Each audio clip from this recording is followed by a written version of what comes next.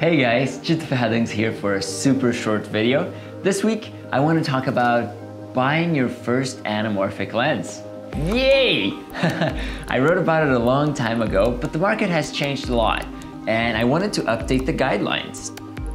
Giving advice on which lens to buy is a tricky path to tread, so I started organizing my ideas in a flowchart.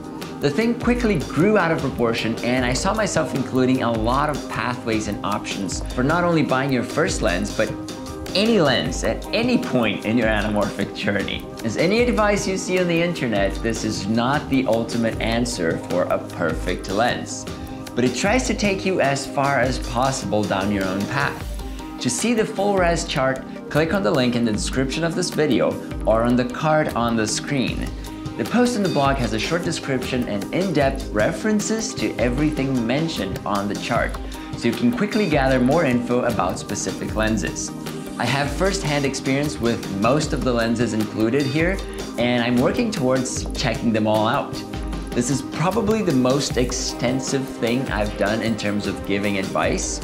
Think of it as an anamorphic calculator, but for buying lenses. Lastly, if you decide to buy something, please use the links in the article so I get a little commission for the sales. Ha! Thank you. I know the chart's gonna keep you entertained, so I'm wrapping this video right here. Hit the like button to signal you enjoyed this resource and subscribe if you haven't yet. Also, anyone out there has reached to help me get this chart on bigger platforms like, I don't know, No Film School and other gear portals? I just want more people making informed decisions when buying into anamorphic. So reach out. Thank you for hanging out, and I'll see you next week. Ferradans out.